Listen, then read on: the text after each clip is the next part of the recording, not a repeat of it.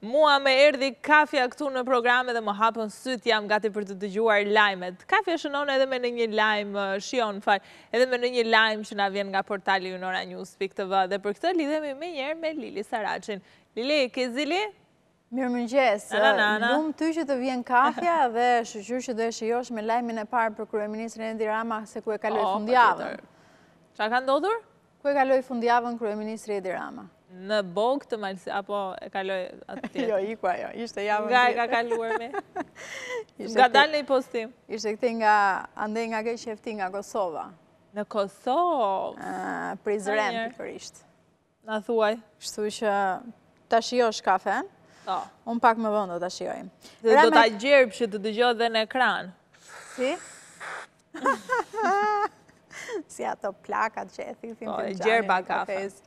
Rama e kalon fundjavën me familje në Prizren, historia shqiptare e në fakt historia e shqiptarëve që bashkëjetojnë atje thotë dhe që thith edhe ajër të pastër ka deklaruar kryeministri i vendit Edi Rama ku ka postuar një foto me familjen e tij në rrjetet sociale nga Prizreni ditën e djeshme ai shkruan se Prizreni të jep përherë një kënaqësi të posaçme historia e Shqipërisë duhet të jetë ky kjo fjala këtu, sepse ndryshe nuk shkon. Jo, historia e shqiptaria. Ose shqiptaria. Ku e lexove ti aq shpejtë atë? Historia dhe shqiptaria. Po e lexova këtu. Historia dhe shqiptaria bashkëjetojnë. Historia e shqiptaria bashkëjetojnë në ajër që thithin dhe njerëzit kanë një energji shumë të mirë shkruan ndër të tjera kreu i qeverisë në rrjetin e tij social për sa i përket fundjavës se si e ka kaluar ditën e djeshme Dhe edhe të shtunë, në mos gaboj, po të shtunën jo, ishte duke bërë një skulpturë. Fundjavat ndryshe. Fundjavat, jo, jo, është tjetër emision ai.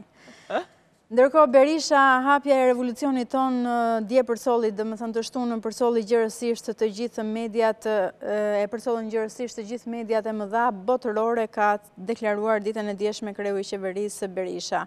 dhe thotë pikërisht se ditën e sotme do të mbahet protesta e revolucionit në orën 17 përpara parlamentit, edhe pse duhet thënë që edhe pse është ditë zie kombëtare për shkak të situatës në Turqi, as parlamenti dhe as protesta me sa duket nuk do të anulohen Më bëri përshtypje që dhe institucionet nuk janë pushim, përderisa është ditë zie kombëtare. Po, nuk e di se si do të shkojë kjo histori, Lili, po çfarë është parashikuar të ndodhë diçka ditën e sotme tjetër protestë, apo? Ditën e sotme është parashikuar që të ketë protestë në orën 17, pra në orën 5 masdite, po. edhe në kohën kur fillon parlamenti dhe do të ketë një mocion ose dëgjesë të Kryeministrit Edi Rama, për sa i përket çështjes së McGonigal. Mhm. Kështu që në kohën kur organizohet kuvendi dhe parlamenti për dëgjesë, të organizohet dhe protesta ku kreu i Partisë Demokratike ka cilësuar si revolucionin komtar. Dhe siç duket nuk do të kemi ndryshime në lidhje me këtë organizim. Po. Me sa duket jo. Njëqind e një orë nën rrënoja. Babë e bijë tregojnë momentet e ferrit kur më ankohej se kishte etje, është një tjetër artikull që të vjen keq kur e lexon. Pas lajmeve trishtuese se numri i viktimave rritet si pasojë e tërmetit në Turqi e Siri, ka edhe një lajm shpresëdhënës të shpëtimit të të mbijetuarve pavarësisht ditëve të tëra nën rrënoja. Rasti i radhës është ai i 43 vjeçarit dhe vajzës së tij 8 vjeçare, të cilët e panë dritën e diellit vetëm pas njëqind e një orësh nën rrënojat e Hatajit. Është ky një tjetër artikull që shoqëron webin e Ora News ku flet pikërisht për tërmetin e tmerrshëm ku ka mijëra viktima, gati në 30.000 viktima është numri i viktimave Ariola në Turqi dhe një numër i Pak më i ulët është në Siri, megjithatë ende nuk kanë të dhëna të sakta përsa i përket numrit të viktimave të saktë në Siri. Ndryshe nga seç ndodh në Turqi. Mhm për të vijuar prapë me të njëjtën situatë dhe për të njëjtën kauzë ku e gjithë bota me sa duket është përfshirë, Holland thotë nuk i dhuron fanellën fëmijës sepse e ka për të prekurit nga tërmeti. është një tjetër artikull ku flet për një futbolist i cili nuk i ka dhuruar fanellën e tij një, ky është lajmi, një fëmije që ja ka kërkuar fanellën që ka luajtur ose që ka mbajtur gjatë ndeshjes dhe i ka thënë që nuk mund duke ja shpjeguar sepse është i vogël fëmija, duke ja shpjeguar duke i thënë që nuk mund të ta jap këtë fanellë sepse kjo fanellë do të shitet dhe të gjitha të ardhurat që do të mblidhen nga shitja e kësaj fanelle do të shkojnë për të prekurit nga tërmeti në Turqi. Ja ku e kemi edhe videon e cila shoqëron këtë moment, po. ja shpjegon djalit, se çfarë do të ndodhë. Lojtari i Hollandës. Po. Shkojmë atë. Mos na ngatërroni me emra, se unë s'mundem dot me emrat e këtyre. Mhm. Nuk e di sa mundesh ti. Kshtu që ne do të shkojmë tek një tjetër artikull dhe do të flasim për bulmetin në Shqipëri, për çmimet e tyre. Nuk e di a e ke ndier apo jo ti çmimin e bulmetit, por... Por... Do ta kenë ndjerë ata të shpisë që bëjnë pazar. Mami me babin tënd besoj që e kanë ndjerë. Mami me babin se unë s'i di çmimet. Ti s'i di, ti je rahat nga ky hall. Se Lili si janë rritur për shembull?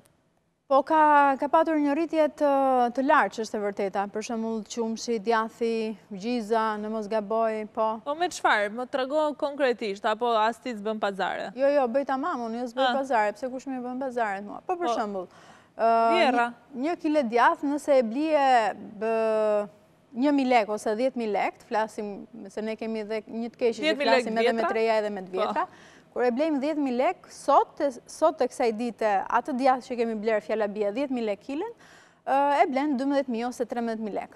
Ç'thua? A të duket pak rritja? Jo, është shumë, është shumë, s'diskutohet për familje shqiptare. E njëjta gjë mund të ndodhë edhe për qumështin. Qumështi për shembull prej një viti ka pësuar një rritje nga 13.000 lek ose 1.300 lek që e kemi pas blerë, fjala bie një qumësht 1.4 litra sa ç'janë ato zakonisht.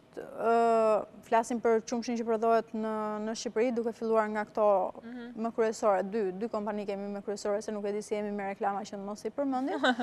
Sot e kësaj dite e blejmë diku te 200 lekëshi, ose 2.000 lekë.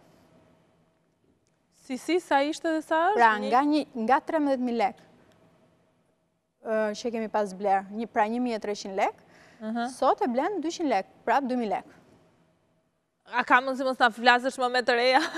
Se na bëre lëmsh. Ka 1.300 lek, këtu e ka vajt 2.000 lek, ej zot. Po pra 2.000 lek. Popull i thjeshtë jemi, s'jemi ekonomista. Po këtë e sqarova që në fillim që ne jemi pak keq me këto, jo të reja, jo po të vjetra. Jo po 13, jo po 12. Jemi i vetëmi vend ku flasim edhe me të reja edhe me të vjetra. Po vëre lekun ashtu siç është. 50 euro, s'i themi ne 50 euro të reja dhe 50 euro të vjetra? Po, pra, 50 euro të shkretin. Nejse, do ta trajtojmë këtë si temë vetëm pas pak në program, ndërkohë që ora shënon 7.56 dhe ne jemi gati për lajmin e fundit. E lexojmë edhe lajmin e fundit dhe kemi të bëjmë pikërisht me një lajm që nuk e di a do të pëlqejë apo jo Ariola, po është një vajzë ose një nënë e cila ka nxjerrë fëmijët e saj nga shtëpia, Për çfarë mendon ti? Mos e lexo titullin. Për të krijuar pavarësi. Ja. Jo. Po për çfarë? Thotë, nëna nxjerr fëmijët nga shtëpia për Shën Valentinin, do që t'i gatuajë bashkëshortit të saj, ëmbëlsira dhe një drekë apo darkë Shën Valentini, në mënyrë krejt të veçantë. Dhe siç e lexoni në titull. Siç e lexoni në titull, që do të thotë nudo. Po. Si tha para ca vitesh Berisha, lakuriq me një gjethe fiku. Ishte tjetër film ai. Ishte filmi mes Francës në atë kohë. Filmi në Paris. Lakuriq me gjethe fiku. Nuk ua sugjerojmë nënave të tjera shqiptare, mos e lexoni këtë lajm edhe pse unë e lexova, mos merrni shembull nga këtë lajm. Fëmijët në minus 13 gradë jashtë. Fëmijët aty në shpi, sepse nuk është mirë. Mirë, një ide gjithsesi jua dhamë çfarë mund të bëni ndryshe po jo, jo, e nuk është ide. Do ta trajtojmë serioz gjatë e gjerë ditën e nesërme, ndërkohë Lili unë të falënderoj shumë që ishe me mua, do të ritakohemi në orën 9 së bashku apo jo. Po po, patjetër, në orën 9 aty më keni mua, nga e hëna në të premte. Pastaj Ariolën aty ku është. Me edicionin e lajmeve do t'jemi me Lilin, ndërkohë ne shkojmë në pak publicitet, rikthehemi shumë shpejt në program për të trajtuar temën e faktit se Shqipëria është shpallur vendi i tretë në Evropë për apartamentet dhe çmimet më të shtrenjta të apartamenteve. E diskutojmë pak me ekspertët e kësaj fushe.